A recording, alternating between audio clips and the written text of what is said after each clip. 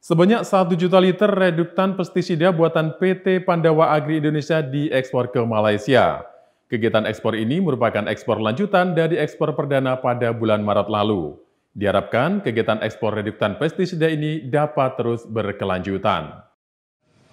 Penggunaan campuran reduktan pada pestisida guna mengurangi dosis pestisida tunggal namun masih memiliki efektivitas yang sama. Reduktan diklaim mampu mengurangi penggunaan pestisida sampai 50% sehingga memperkecil residu dan lebih ramah lingkungan. Dalam kesempatan ini, buatan PT Pandawa Agri Indonesia mendapat kontrak 1 juta liter reduktan untuk diekspor ke Malaysia. CEO PT Pandawa Agri Indonesia, Kukuh Roksa Putra Hadriono mengatakan, peluang ekspor lebih dari 1 juta liter makin terbuka. Terbukanya peluang ekspor reduktan herbisida ini juga dipengaruhi oleh melonjaknya harga pestisida di seluruh dunia.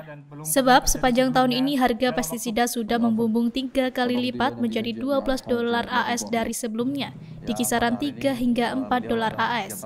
Di sisi lain, dunia masih memiliki ketergantungan impor produk pestisida dari Cina yang mencapai 60 persen. PT Pandawa Agri Indonesia mengekspor produk ke salah satu perusahaan multinasional penghasil minyak terbesar di Malaysia, Bila berjalan lancar, ekspor ke Malaysia bisa meningkat sampai 2 juta liter reduktan pestisida. Selain merambah pasar luar negeri, produk ini sudah merambah ke 25 perusahaan perkebunan besar Indonesia. Peluang ekspor semakin terbuka lebar lantaran perusahaan sudah mendapatkan minat dari perusahaan multinasional yang menjadi distributor internasional mengirim ke ASEAN, Asia, Afrika hingga Amerika Latin. Kuku menjelaskan reduktan herbisida sudah mampu mengurangi penggunaan pestisida sintetis sekitar 2 juta liter di seluruh Indonesia dan Malaysia.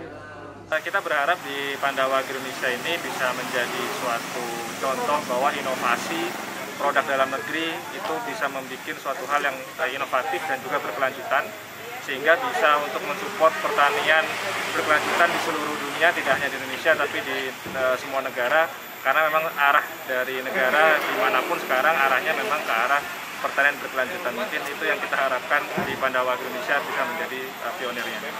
Dari Banyuwangi, tim liputan Nasional TV melaporkan.